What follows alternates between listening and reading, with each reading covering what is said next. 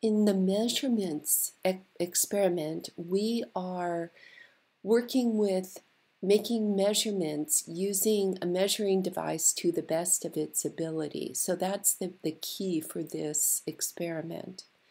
Like if we are measuring the length of the black bar in A using the ruler shown below it, we notice between 0 and 10 centimeters are 10 divisions. That means each division is one centimeter. We see that the bar is a little bit over nine centimeters. So then the nine we're sure of, and we're going to report that last digit, which is the most uncertain one, but it's better to report it than not because we can we can read between the lines and see that it's not quite halfway across so we would call that, for example, 9.4 centimeters. Maybe somebody else would say, well, it's 9.3 centimeters. A third person, maybe 9.5 centimeters. And all of that is okay. If the bar is as in B, and it's basically at the 10 centimeters line, we wouldn't call that just 10 centimeters because the precision of that ruler allows us to report one decimal. So we would say it looks like it's not a little bit under, not a little bit over, it's right on the 10 line. So we would call that 10.0 centimeters.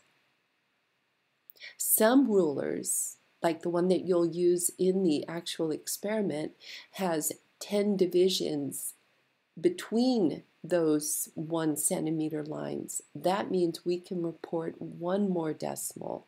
So we need to read the measuring device to the best of its ability. This is using a graduated cylinder, a 100 ml graduated cylinder to measure the quantity of liquid in it.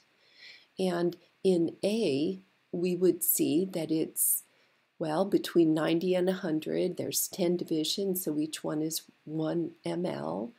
We would be right at eye level, and we would see that it's between 93 and 94 mLs.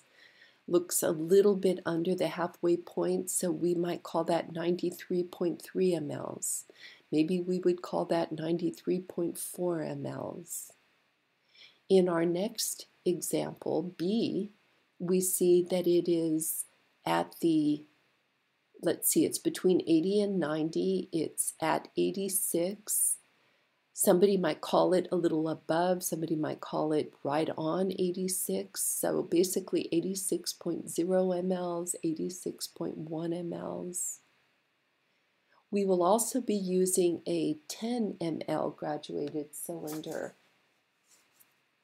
And that allows us to get one more decimal because between 1 ml in a 1 ml division on this 100 ml grad cylinder, in the 10 ml grad cylinder, there's 10 divisions.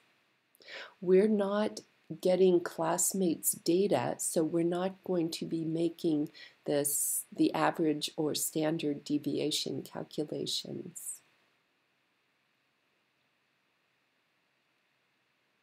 So the actual experimental procedure in part A, we are measuring the length of a plastic weighboat and we're using a ruler that allows us to get one more decimal than the example given in the in the write-up for this experiment.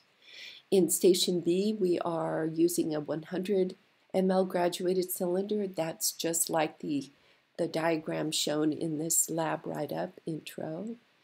Station C, we're using a 10 ml graduated cylinder, so one more decimal Station D, we're measuring with a thermometer.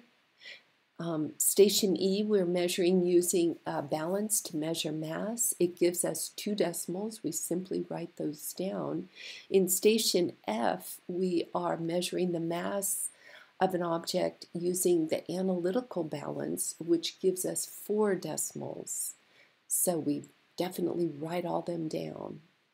Notice this last line here that for the analytical balance, it looks like a comma, but it's really meant to be a decimal point. So what looks like, for example, 12 comma 3456 grams is really 12.3456 grams.